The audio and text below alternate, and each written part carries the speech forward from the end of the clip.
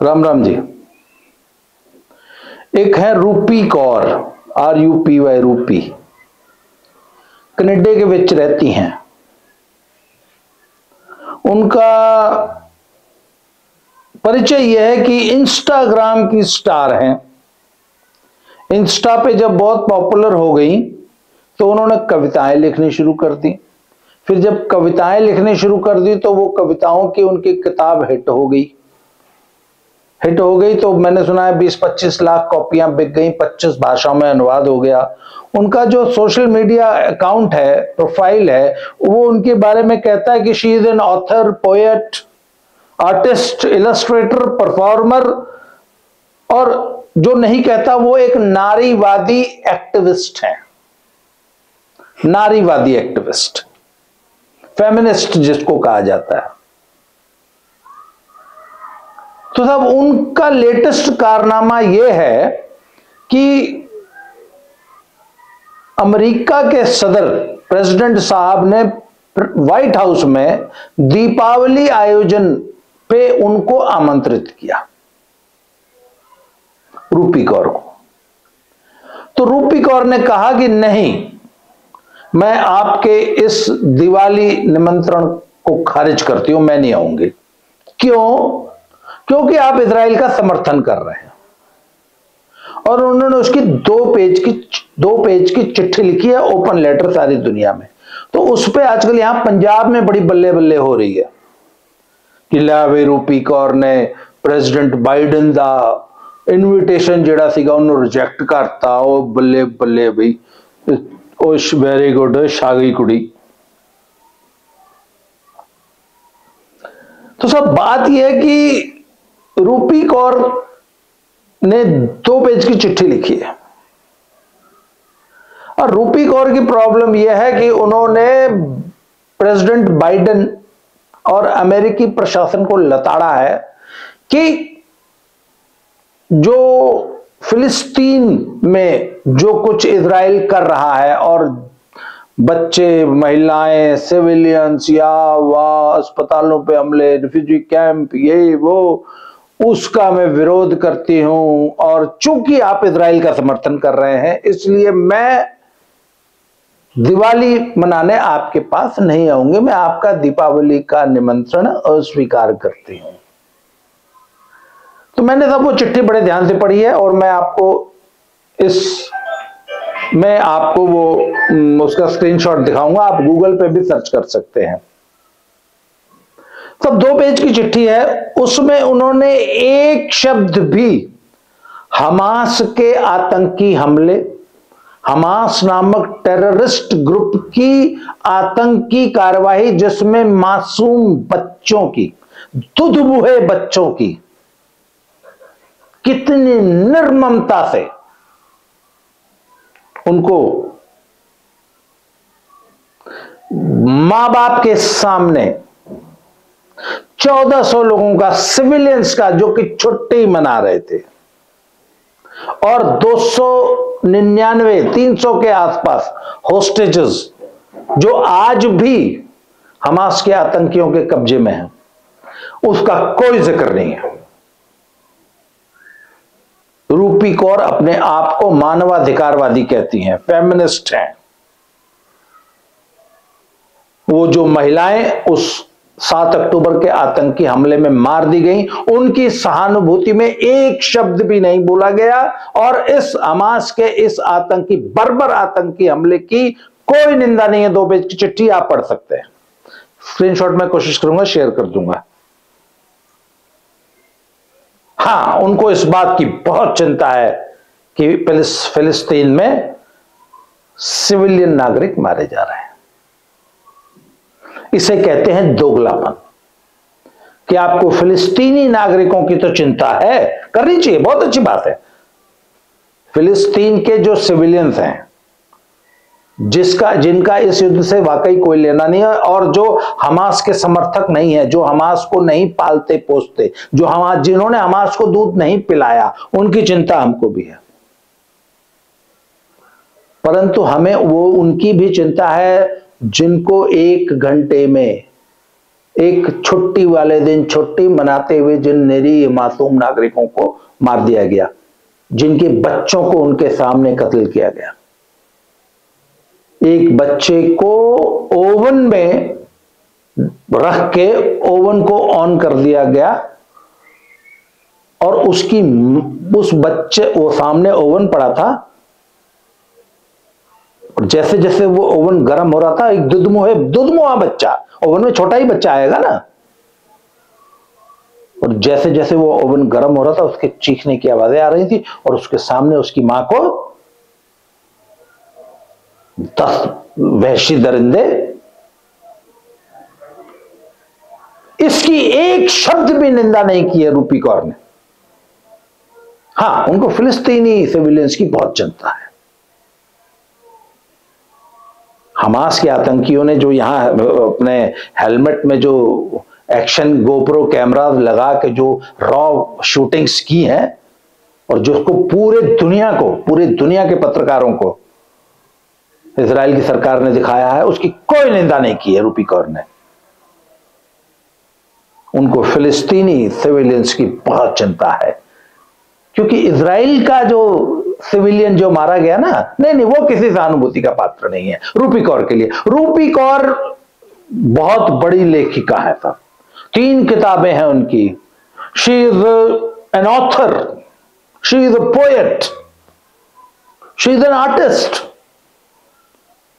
she is an illustrator she is a performer but she can not spare one word in favour of the Israeli hostages जो Israel के जो लोग निरीह मासूम नागरिक मारे गए, एक आतंकी हमलों में, उनके प्रति सहानुभूति का एक भी शब्द नहीं है। या हमास के आतंक की निंदा के लिए उस बिचारी के शब्द खत्म हो जाते हैं। वैसे बड़ी अच्छी, बहुत अच्छी सो कॉल्ड वाह जी वाह बल्ले बल्ले कराती है साड़ी कुड़ी ने। इतनी अच्छी पोएट है कवियत्री है। एक तो ये बात गौर करने वाली है। एक दूसरी बात, रूपी कौर जी, प्रेसिडेंट बाइडेन के प्रशासन ने आपको व्हाइट हाउस में दीपावली मनाने के लिए आमंत्रित किया। आपने मना कर दिया। मेरा एक सवाल है, उसका जवाब दीजिए। गुरपुरब मनाने, अगर जो बाइडन अपने व्हाइट हाउस में गुरपुरब मना रहा है, मनाता। अगर उसका इनविटेशन आपको आता तो आपका गुरुपुरब में जाने से भी मना कर देती, दिवाली तो आपने मना कर दी। इसका जवाब आपको देना चाहिए। इसका, ये इस प्रश्न का जवाब बहुत से लोग आपसे जानना चाहेंगे। एक दूसरा सवाल मैं करता हूँ, मैं यहाँ पिछले पच्चीस, पंद्रह से लेकर बीस साल हो गए मुझे। और वैसे मेरा जुड़ाव तो बहुत पुराना है पंजाब से। मैं हर दीपावली पे एक बात सुनता हूँ। कोई भी मैटर हो कोई एजिटेशन हो कोई आ, किसी को भी कोई समस्या हो हमारी मांगे नहीं पूरी होगी हमारी फलानी चीज़ की यूनियन है हम काली दिवाली मनाएँगे। भैया ये तुम्हारी दीपावली ही हमेशा क्यों काली बनती है? मैंने तो आज तक कभी नहीं सुखा कभी नहीं सुना पंजाब में कि फलाना गुरुपुरब भी हम काला मनाएँगे। अभी गुरु नानक देव जी का प्रकाश उत्सव आ रहा है। यार, दिवाली ही आप लोग काली क्यों मनाते हो? हमने तो आज तक कभी नहीं कहा कि हम प्रकाश उत्सव नहीं मनाएँगे, या प्रकाश उत्सव मनाएँगे तो काला मनाएँगे, उस दिन हम दिए नहीं जलाएँगे, या हम प्रकाश नहीं करेंगे। अगर कोई ऐसा करे मैं तो मुँह तोड़ दूँगा कि तेरी हिम्मत कैसे हुई? वो हमारे गुरु हैं। हम उनका प्रकाश उत्सव रंग विहीन हम अंधेरा उत्सव कैसे मना सकते हैं? यार आप लोग हर बार दिवाली काली कर देते हो चक्कर क्या है भैया मतलब आपको हमारी हमारी रिलीजियस फीलिंग्स का, का, का कोई वैल्यू नहीं है। जब आप अपनी टुच्ची थर्ड क्लास पॉलिटिक्स में हिंदुओं के सबसे महत्वपूर्ण पर्व के साथ पॉलिटिक्स करने लगते हैं, हर बार आप कहते हैं, काली काली दिवाली मनाओ। जब जब होली आती है तो आप लोगों को वाटर गन कंजर्वेशन याद आ जाता है। जब दिवाली आती है तो आप लोग को याद आ जाता है, अरे यार, इसमें तो बहुत ज़्यादा नॉइस पोल्यूशन होता है। अरे यार, इसमें तो ये पटाखे फोड़ते हैं। मतलब यार, हम भी आपके इसी समाज के लोग हैं। जस्ट फॉर कर्टसी से एक कुछ तो सोचना चाहिए। बहुसंख्यक समाज की भी फीलिंग्स होती हैं, उसका भी ध्यान रखिए। एक तीसरा इशू आप बाइडेन प्रशासन का इसलिए विरोध कर रहे हैं कि वो इसराइल का समर्थन कर रहा है। और आप लोग, रूपी कौर, आप उन लोगों का समर्थन कर रहे हैं, मुझे तो एक ही बात याद है कि आप उन लोगों का समर्थन कर रही हैं जिन्होंने आपके गुरुओं को जलते तवे पे बैठाया। उनके बच्चों को, सात साल और नौ साल के बच्चों को, साहबजादों को ज़िंदा दीवार में चिनवा दिया। उनकी छाती पे चढ़कर जिनकी गर्दनें जबह की गई, हमारे गुरु के चार बच्चे एक पखवाड़े के भीतर पूरा परिवार उनका खत्म हो गया, माँ खत्म हो गई, बच्चे खत्म हो गए, और जिन लोगों ने ये अत्याचार किए थे, हमारे योद्धाओं को, हमारे भाइयों को, यहाँ बीच से आ रहे थे जिन लोगों ने काटा। आज आप उनके समर्थन में खड़े हैं और दिवाली का विरोध कर रहे हैं। आपको इन बातों पे भी गौर करना चाहिए।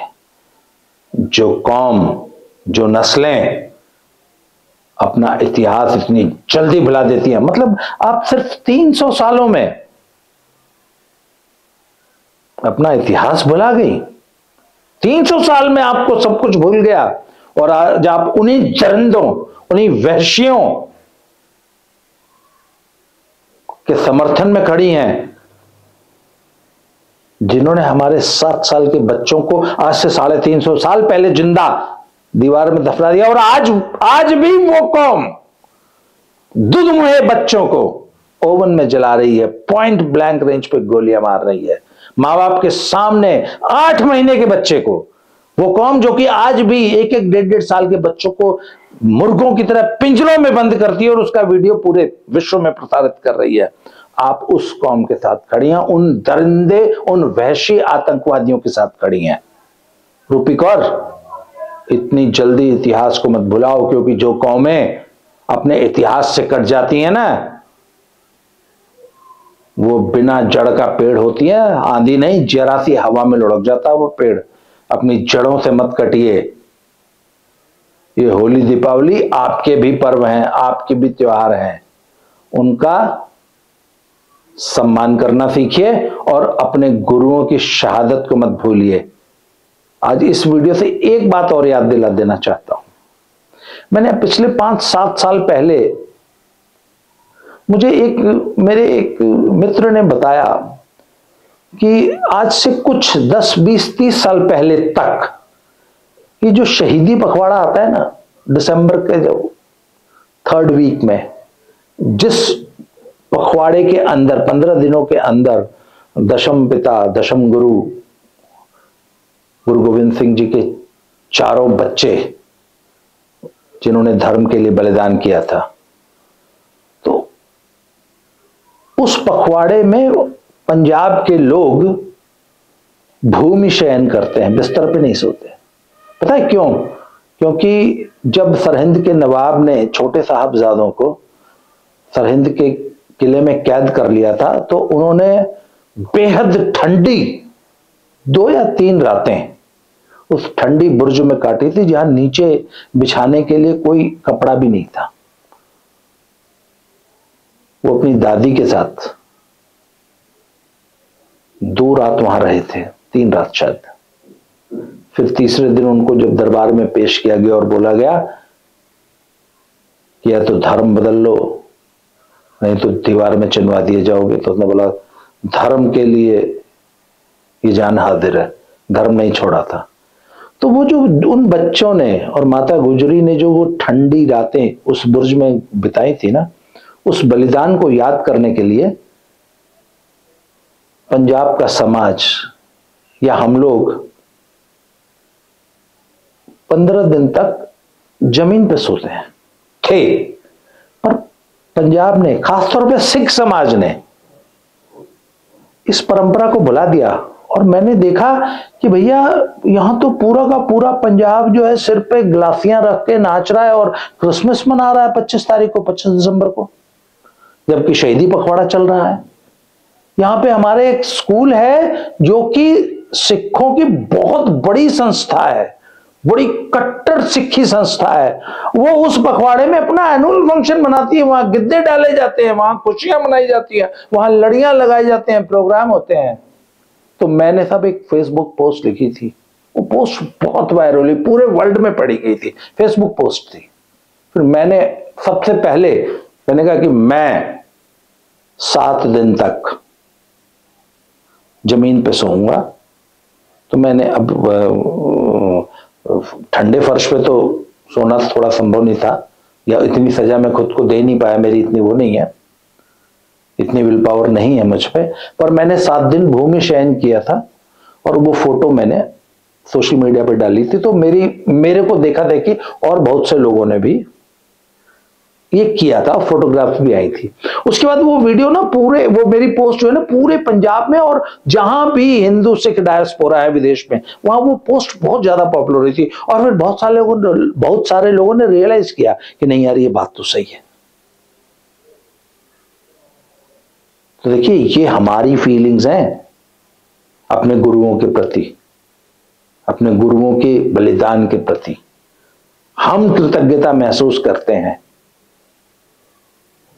और ये है असली हिंदू सिख भाईचारा।